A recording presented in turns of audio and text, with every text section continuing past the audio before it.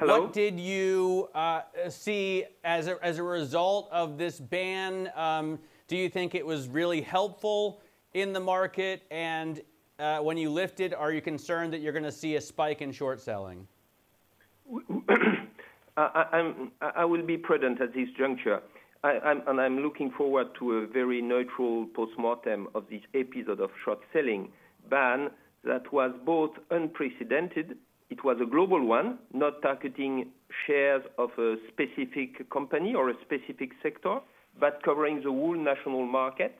So it was both unprecedented and has pro- provided a counterfactual with very similar situations in the EU being covered by different policies, some with a short selling restriction, uh, obviously almost 60% of the Eurozone, by the way, and others with no restriction.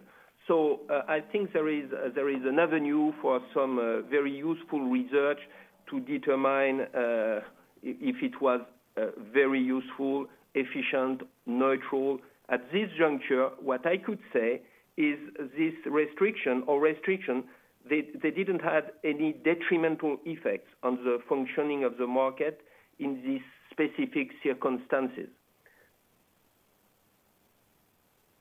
And we've seen that other, good morning to you, Robert. We see that other yeah. Uh, exchanges have also, other countries, sorry, have also decided to remove their short selling bans this morning. Was this a coordinated effort uh, or decision? And how important is it that European countries move together in this?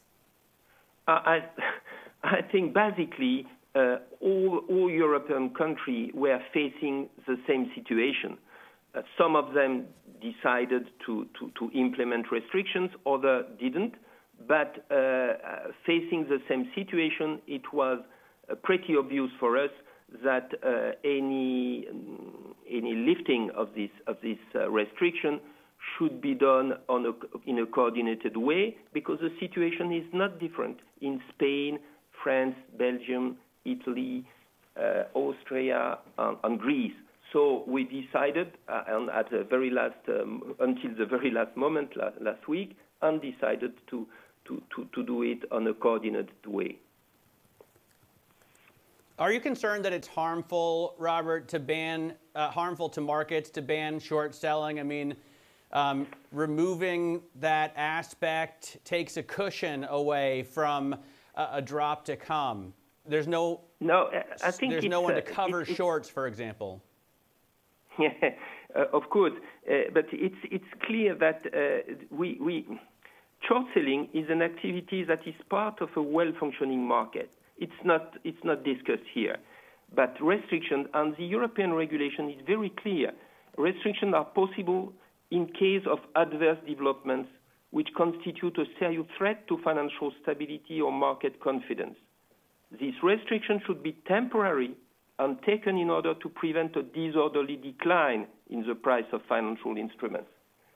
And these restrictions should, could be necessary due to a variety of adverse events. And if you, if you look at the regulation, the EU regulation, they are, they are explicitly mentioning natural disasters are a possibility for triggering this type of, of restriction, which are by nature temporary. And it, why is it temporary? Because it's just what you have mentioned, that the liquidity of, of a well-functioning market needs, needs short sellers. Okay, uh, Robert, as we've got you here as a market regulator, I wanted to ask you uh, for your thoughts on any changes required to MIFID II. There's been a lot of talk about potential revisions to MIFID II to help the Eurozone economy to recover from the pandemic. Do you think that, for example, the, the rules around research unbundling or any other MIFID II rules should be revisited because of this, the, the, uh, uh, the difficult situation that European economies find themselves in? We, we are clearly advocating for, for some changes, and uh, there are some urgent targeting, targeted changes which are needed.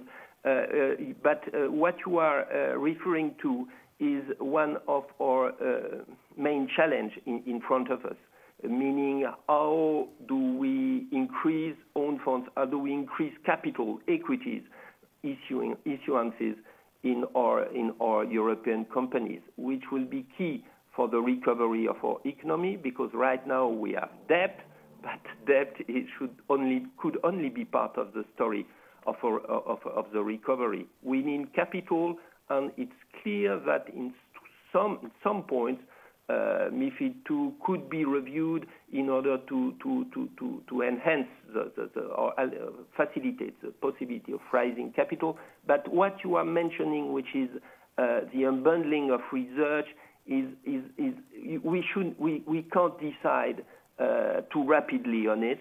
It's because it's it's it's it's a regulation which have restructured this industry. We are advocating for some changes in this uh, in this matter, but no radical one.